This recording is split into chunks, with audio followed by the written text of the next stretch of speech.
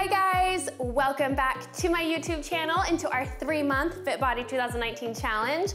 Today, we're gonna be doing core. So a lot of ab work. I'm gonna teach you how to really engage your core with each of the moves that is in the challenge. If you haven't already joined the challenge, it is not too late. Just head to the description box below and get your one month free promo code to download the Fit Body app and join us. So, all right, First move is going to be a lying windshield wiper. And I know that this video in this month is not the focus for showing you alternative moves, but this move is pretty killer. So I am gonna show you not only the proper form, but an alternative as well. So, all right, you're gonna be down on the ground and you're going to have your arms placed out because that's gonna give you a little bit of leverage.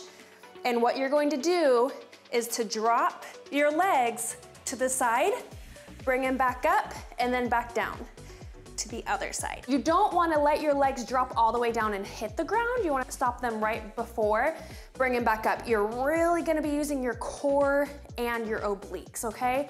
When your legs are up in the air, no arching in the back. When you do drop it, obviously your back is gonna be off the ground a bit, so that's okay. Just be sure there's not an excessive arch. So this is the one where I wanna give you a modification. If you've never done this move before, my FBG girls have, so you should be able to do this, but if you need to modify, then you're just going to bend your legs in a 90 degree angle and drop just like this, all right? Also gives you a good stretch in your back. And this is really going to target your obliques. And what I want you to do is when you bring your legs back up, whether they're bent or all the way out, is I want you to focus on using your obliques to bring you back up, okay? Your arms are there for stability and they will help you, but don't rely on them, okay? Really rely on your oblique muscles. All right, move number two is scissor kicks. We're gonna stay on the ground and you're you can place your hands below your bottom and you're just going to be alternating your legs, okay? Now, I do prefer for you to have your shoulder blades a little bit up off of the ground. Um, it's gonna help you further engage your core. But if you need to have them completely on the ground, that's okay. It's just a little bit of an easier version.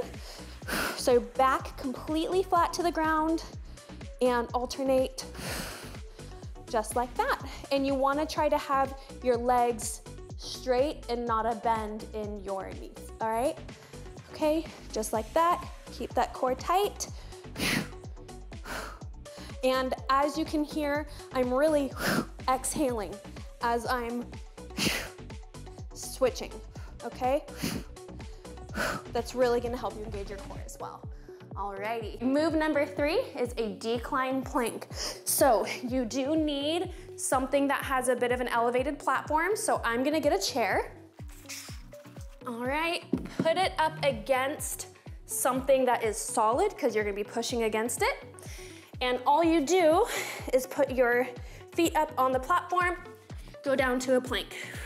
All right, just like with a normal plank, no drooping down and no arching your back, okay? And really almost kind of, do you see right now, my butt is kind of, you know, tooched up in the air. You don't want that. You wanna almost internally rotate your pelvis, okay?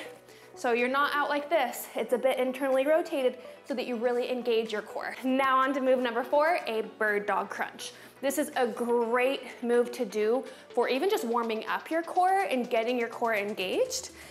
So what you're gonna do is place your hands directly underneath your shoulders. You're going to extend out and then curl, so kind of like a cat-cow, okay? And back. Squeeze and out and switch sides. Really squeeze and back out And that's about it. Move number five, really gonna get your heart rate up. We're gonna do mountain climbers. So, personally, I like to do them on my fists because it hurts my wrists a bit to have them flat um, out on the ground like this. So if you don't have wrist problems, then this is the right way to do it. But if you, if this does hurt your wrists, you can go on your fists or you can even do them on dumbbells. That will help with wrist pain as well. All right, so Body in a straight line. Drag your knees up to your chest. and really squeeze your core. Now it's really important with these that you are engaging your core in each rep. You don't wanna be using your hip flexors, which does end up happening a lot of the time if you're not engaging your core. Your hip flexors are gonna take over. So if you need to slow it down, by all means do so, because I don't want you using your hip flexors, okay? So if you wanna slow it down, bring it up, really squeeze that core. All right, that is it. You guys are all set. Go crush today's challenge and I will see you tomorrow.